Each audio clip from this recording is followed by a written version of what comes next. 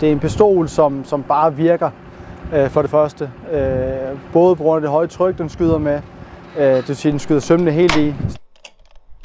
Og i forhold til andre pistoler, vi har brugt førhen, så, så er det noget, der bare virker